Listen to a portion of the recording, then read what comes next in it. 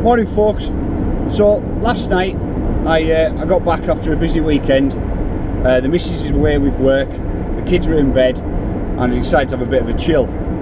And for my chilling session I decided to have a bit of a read up. Um, there's been an absolute boatload of trade shows on recently.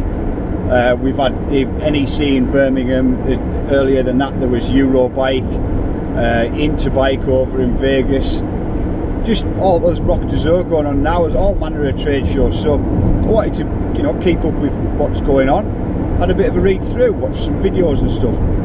Now, there's a couple of things that after doing like three hours worth of that that really stand out nobody ever really tells you the whole truth, do they? I mean, nobody releases a 2017 bike saying, hey, you know when we said 2016 bikes, the one that we made then was the best one ever, well, we haven't changed anything, we've just given it this new cool paint job because it's ace. Every year it's like, oh, this, this new thing that we brought out is the new best thing, and it's the same with components as well, and it's, it's always this latest one is the best one.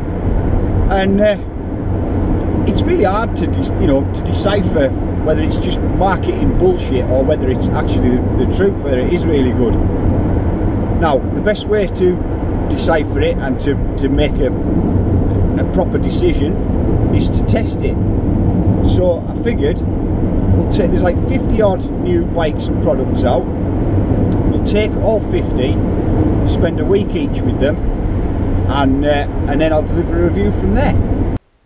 Hang on a second, I'm going to make that work. Uh, this isn't Top Gear, they don't just send me the top 50 new releases for me to review, so I can't get my hands on that. And anyway, even if I could, I got, say I got the top 50, right? Reviewed them for, spent a week with them, reviewed them. That's going to take 50 weeks, it's only 52 weeks in a year, the 2018 stuff will be coming out. There is another way. I've been riding mountain bikes for 30 years. Now, you can understand why I would be a little bit skeptical when I watch videos of these 25 year old marketing gurus telling me what the most important thing in mountain biking is. Dude, you weren't even a glimmer in your dad's eye. There is one thing that gets overlooked. 99% of the time, you're not against the clock. You, when you're riding your bike, you don't have to score a goal. There, there isn't a touchdown. There's no shooting a basket. You don't score a try. You don't get anybody out.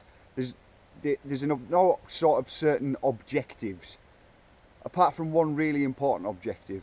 And I know I keep saying this over and over again, but the objective is to dick about in, on a bike in the woods and have fun. So there is a way to test whether something's, is it fun or is it not? would we have a better time if we had this new piece of technology? So what we're going to do today is we're going to go old school, like really old school. So this is a fully rigid, zero travel, V-brake equipped, old school clunker style bike. A great test model for this situation. As you can see, it does have stubby stem wide bars, single single ring up front, and it does have something to stop the, the chain coming off. But do you know what? We'll, we'll just take that stuff as given. I can't ride with narrow bars anymore. I used to, not sure why I did, but I can't do it anymore. Let's start with an easy one. Electronic shifting. If I had electronic shifting today, would I be having more fun? Dead easy, no. I had no plans to come riding today, therefore I wouldn't have charged it up overnight. And in fact, right now, I'd be with a dead shifter and I'd be having less fun.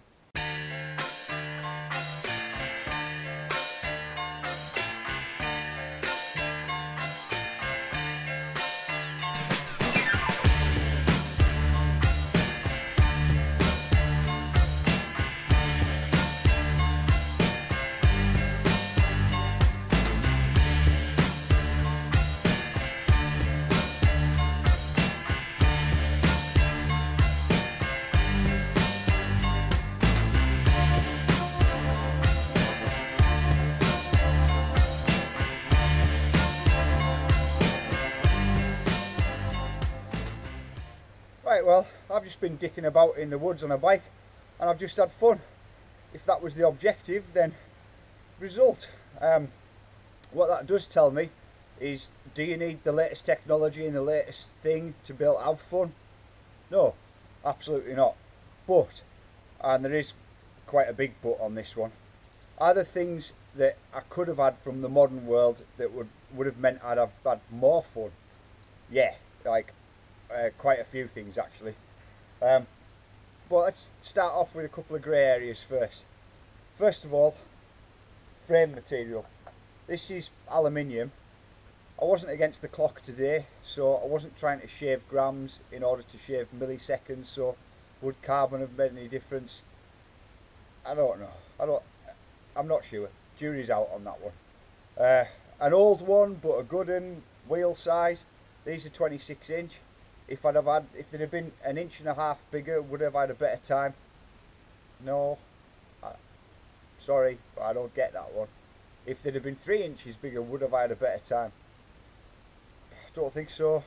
So, anyway, it's moot point because the wheel size thing's done. It's over. These these things are history. Uh, now getting on to the things that, that would have definitely been better. Modern frame geometry. Oh man, by a long shot. It, it's so much better. This is all the, the steep head angle and it's mean it's got a it's got a short chainstay on it, which means that it's fun, and that's why I pulled this one out of the dumpster. But yeah, that makes it's a fun bike, but just modern geometry is it, the progression has come on leaps and bounds. Uh, let's go on to the next things. Suspe suspension forks. Yes, you just have a better time with forks. um, it just makes your life so much more comfortable. You track better over stuff. You don't get your wrists beaten to crap. Rear suspension, yes, would have had a better time. I like jumping, and uh, basically this thing is no fun to jump at all, not on rough terrain. Um, so modern rear suspension, yes, definitely would have had a better time with that. Uh, wheels, this time today I didn't buckle them. Um, they, they're shockers, they're real old cheapo poor things. Uh, they stayed straight today. Uh, how long would they stay straight for on prolonged riding? I don't know.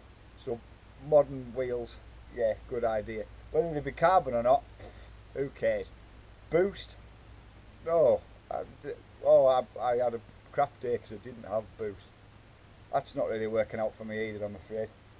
Uh, modern shifting, yeah I would have had a better time with modern shifting to be honest. The, the technology has just come on leaps and bounds. Leap, leaps and bounds. A technology as far as batteries and electronics, Don't really care about that. The big one, a real big one, brakes. There's a reason that V brakes aren't a thing anymore, and let's just leave it at that. What else?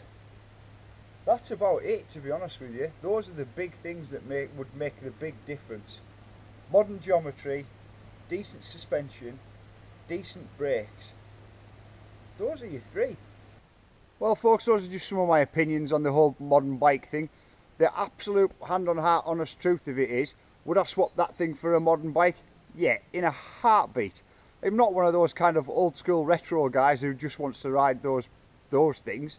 Not at all there's a reason that those things have evolved and become new bikes and it's a very good reason as well so you know don't get me wrong you can have fun on them. It's not that you that the the rubbish and there's no point in even riding one because yeah you can you can still achieve the objective but it's just not as good as a modern bike. The marketing stuff you know you're gonna have to it's a bit of a minefield and you're gonna have to weigh your way through it. All I would say is just try and bear in mind through all the the jargon that comes at you. Just keep thinking. The point is I want to try and have fun on this bike. So that should be the thing that influences your decision. Anyway what's next for me? Um, well immediately next is I've got a, a build project that I'm, I'm going to start and that's starting tomorrow. Uh, and then shortly um, there's something that I've been putting off for a very long time now that I really need to address and get on and get on top of. So more information coming up about that. And uh, for now, thanks very much for your time. We'll see you soon.